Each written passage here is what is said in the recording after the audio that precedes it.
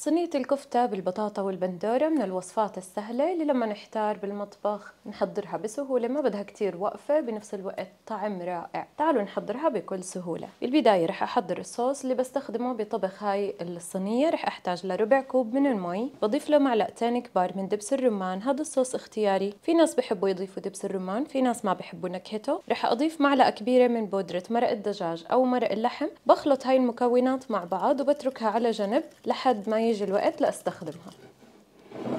هلأ رح نيجي لتحضير اللحمة. عندي هون نص كيلو جرام من لحم الخروف mix مع العجل. لازم يكون فيه شوية دهن. رح أتبل اللحمة بنص معلقة صغيرة فلفل أسود ونص معلقة صغيرة ملح. ورح أضيف معاها بصلة كبيرة مفرومة ناعم كتير أو مبروشة. وعندي هون نص كوب من البقدونس الأخضر مفروم كمان ناعم. هلأ ممكن نطلب من اللحام إنه يحضر لنا الكفتة يخلط معاها ملح وفلفل وبقدونس وبصل. هلأ لازم نعجن المكونات هاي بالإيد لحد ما تصير عندي متجانسة ويختفي البصل والبقدونس مع اللحمة. صارت عندي هيك اللحمة جاهزة لنفردها بالصينية. حضرت صينية الفرن اللي بدي أعمل فيها الكفتة وهلأ ببدأ أوزع اللحمة بهالشكل. وهون رح أفردها كتير منيح وبحرص إنها تكون كلها بنفس السمك.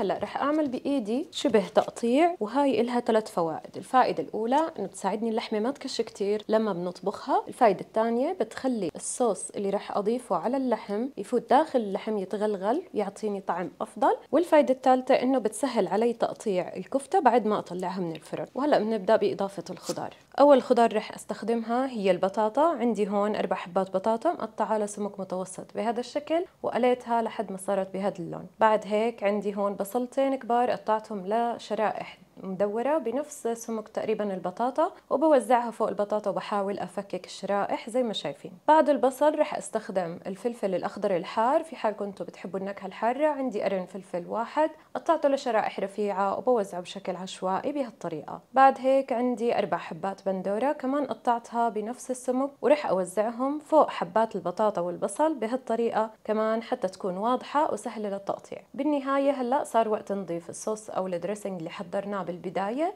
وبنصبه داير ما يدور الصينية بنحاول إنه يفوت في كل مكان.